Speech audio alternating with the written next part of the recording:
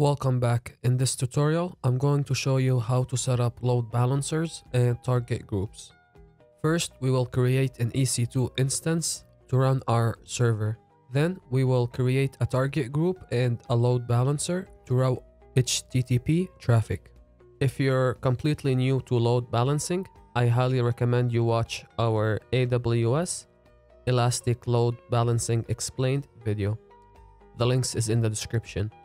Otherwise, I'll explain every single step as we go.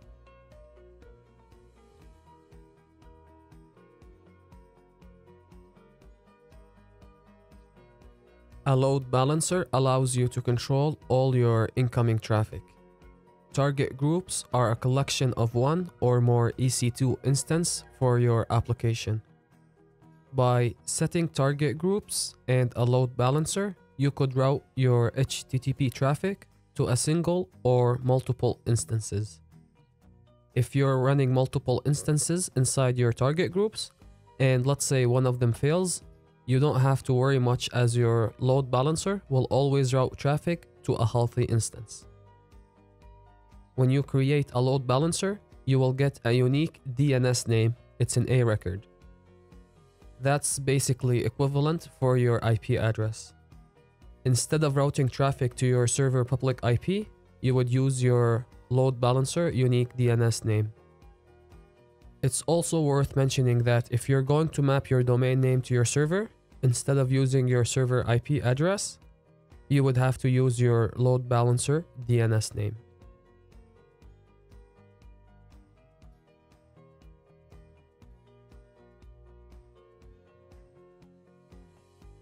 We're going to create two security groups. One will allow our EC2 instances HTTP access, and the other one will give SSH access so we could remotely connect to our instance. On the top, search for EC2.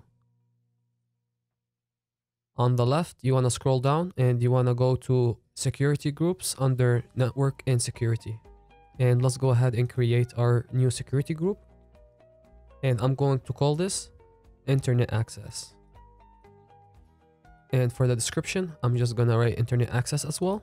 And we're gonna open two ports, HTTP. And it's optional if you wanna add HTTPS, but for this demo, I'm not really uh, setting up an SSL certificate at all. So I'm just gonna leave that.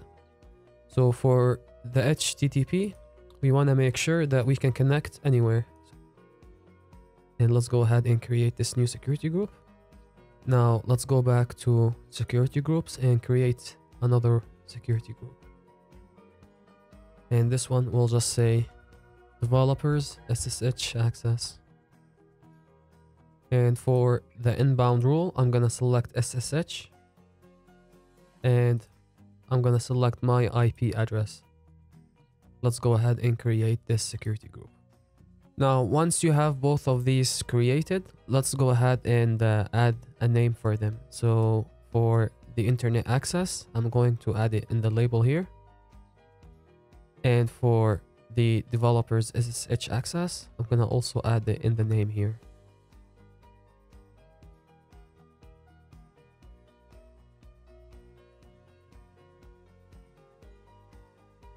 Now for our second step, we're going to create our EC2 instance. So let's go to instances. And from here, let's launch a new instance. And this is just for a demo purpose. So I'm going to select the Ubuntu. And I'm going to keep it micro. And let's go ahead and go to security groups and add our security groups for developers SSH access and the internet access.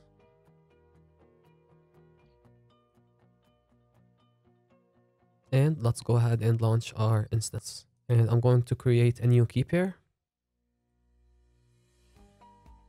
And let's call this server one test. And let's go ahead and launch our instance. Now, once your instance is up and running, let's go ahead and give it a name. I'm gonna call this test server 1. And let's go ahead and copy our IP address And now I'm going to quickly SSH into my instance and I'm going to install Apache just to demonstrate that we have a server up and running. So I'm gonna use Git Bash here and we're gonna use SSH. So SSH-i and we're gonna specify the file. It was called server test 1 PEM and Ubuntu at, and we're gonna paste our IP address.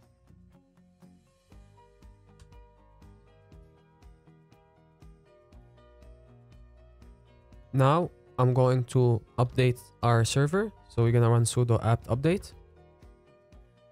Then we're going to install Apache 2. And our last step, I'm going to also install PHP for our Apache. So we do that by writing sudo apt install PHP. Then we're gonna write lib and then Apache 2 dash mod dash PHP. And now I'm just going to quickly restart our server. So we're gonna restart Apache. And let's go ahead and exit our terminal. Now inside our browser, let's go ahead and double check if Apache is installed. So we're going to copy our IP address and we're gonna connect to it using HTTP only.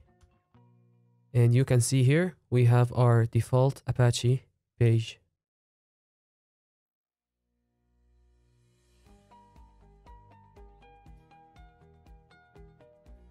Before we create our load balancer, we will create a target group.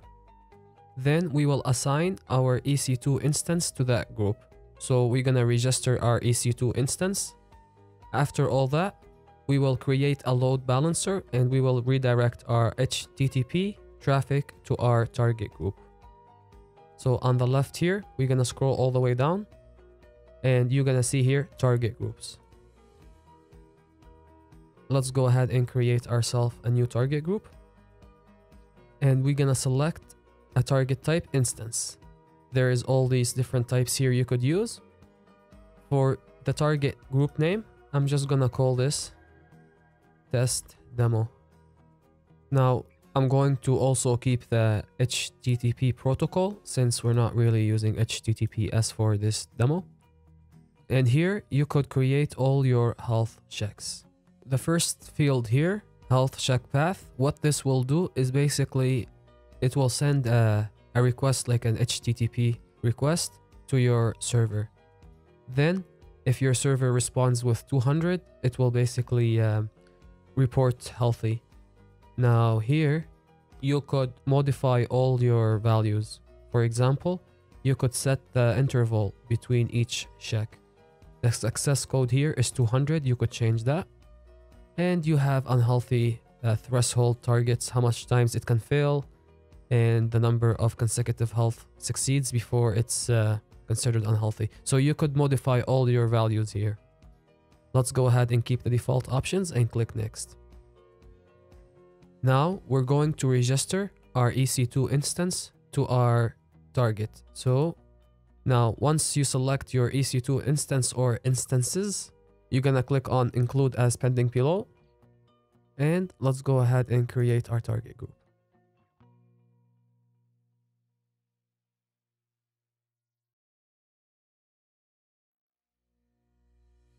Now our last step is to create a load balancer. So on the left inside EC2 instances, you want to scroll all the way down. Under load balancing, click on load balancers. And let's go ahead and create a new load balancer. And we're gonna select the application load balancer. We covered all these in my previous video. And for our load balancer name, I'm just gonna call it demo test. Now, for the scheme, you have internet facing and internal. So the internet facing will give you both an IPv4 IP and it will give you a private IP. For the internal, you will not have a public IP, which means that no one will be able to access it globally. And for the network mapping, I'm going to select all my available options here. and let's go all the way down and here's what we want to do so we want to listen on http port 80 and we want to forward all those requests to our test demo target group and now let's go ahead and create our load balancer. Now it's gonna actually take a while but eventually once your load balancer status become active then we're ready to use it. Down here you have your DNS name. So you would use this name instead of your IP address to connect to your instance. So let's go ahead and see that now this is not gonna work and you can see here it's stuck loading and eventually it will time out. And the reason is we haven't really added security groups to our load balancer. So we will need to set our security groups here. So let's go ahead and edit our security group. And for our load balancer i'm gonna only select internet access which will allow people to connect to our load balancer using our url and you can see here this site cannot be reached so let's go ahead and add that. And let's uh, refresh. And now you can see that our load balancer is working. Thank you for watching. If you found this tutorial useful, then I would appreciate it if you hit that like button. Otherwise, make sure you subscribe to our channel to stay up to date with our latest training videos. If you have any questions, feel free to post it down on a comment below and we'll see you on the next video.